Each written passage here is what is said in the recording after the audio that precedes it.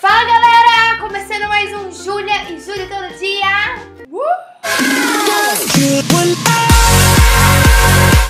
vídeo, estou aqui. O vídeo de hoje foi super pedido por vocês pra mostrar o que tem no meu celular. Então hoje estou aqui porque o pedido de vocês é uma ordem. O meu iPhone, acho que eu tenho ele já vai fazer um ano. E o povo pergunta bastante se eu curto iPhone, o que eu acho de iPhone. Eu acho que isso é muito particular. Tem gente que se dá bem com iPhone, tem gente que não se dá, mas eu particularmente gosto muito. Mas enfim, pesquisa aí, porque eu sei que tem milhões de celulares no nível do iPhone também, um pouco mais baratos. Os aplicativos que eu tenho nele, indicar alguns aplicativos pra vocês também. Bom, pra começar, essa é a página de entrada do iPhone. Então ela tá praticamente igual, vem em todos os celulares.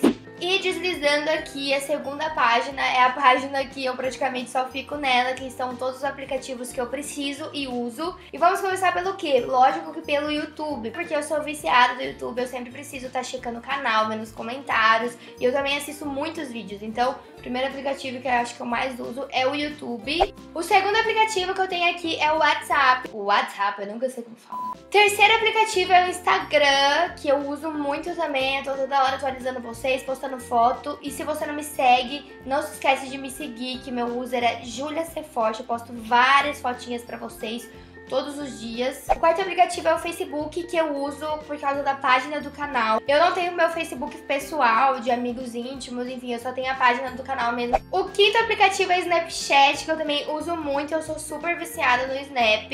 Eu tento postar Snap pra vocês todos os dias também, então se você não me segue, segue lá. O sexto aplicativo é o Gmail, que eu também uso muito, eu tenho que estar toda hora atualizando meu e-mail, respondendo. E o sétimo aplicativo é o Twitter, que eu criei recentemente, eu não tinha Twitter, então me segue lá também. Se surgir mais uma rede social, não consigo dar conta. O sétimo aplicativo é o Google, que é a página do Google. Eu gosto muito de... Porque o Google eu uso ele como navegador. Se eu preciso entrar em qualquer site, eu entro pelo Google. Eu nunca entro pelo Safari pelo Google Chrome. Eu acho ele super prático. E o oitavo aplicativo, que, meu Deus do céu, eu preciso ter ele no meu celular, porque eu amo assistir série. Eu tô viciada no Netflix. Eu quase nem assisto mais televisão, só tô no Netflix mesmo. E aqui no Netflix eu tenho a minha conta, eu assisto todas as minhas séries.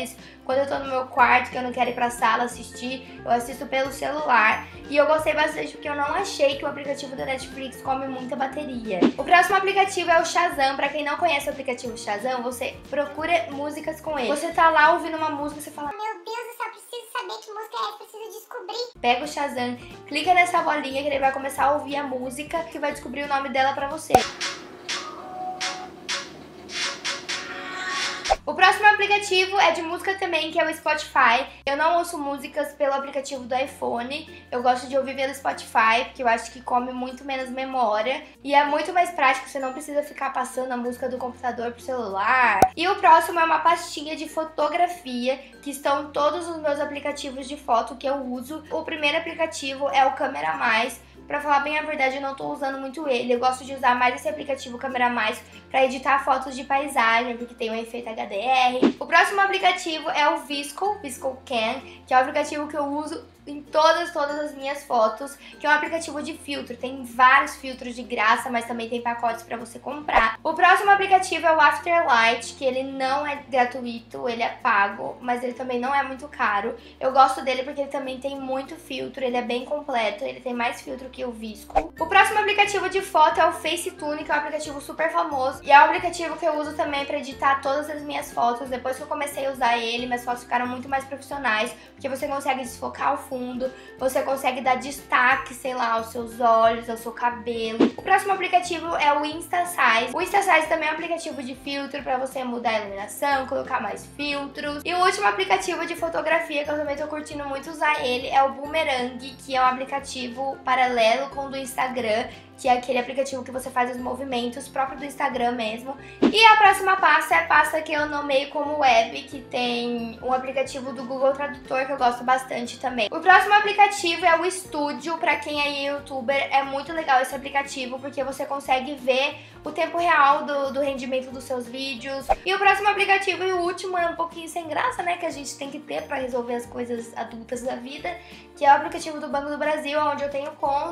Bom, então basicamente é isso que eu tenho no meu celular são esses meus aplicativos, são aplicativos que eu não consigo me desfazer. Eu admiro quem não tem muito aplicativo no celular. Meu o noivo, por exemplo, ele quase não tem aplicativo no celular. Eu fico, menino, como você consegue sobreviver? ver só com WhatsApp, Instagram e Facebook de aplicativo. Então, se você quiser me indicar algum aplicativo que você usa muito mesmo, me indica aqui embaixo que eu vou adorar saber e conhecer também. Deixa o seu like, se inscreve aqui no canal se você for novo por aqui e acompanha o Júlio e Júlio todo dia, porque se você não sabe, temos vídeos todos os dias no mês de julho. Um super beijo e até o próximo vídeo.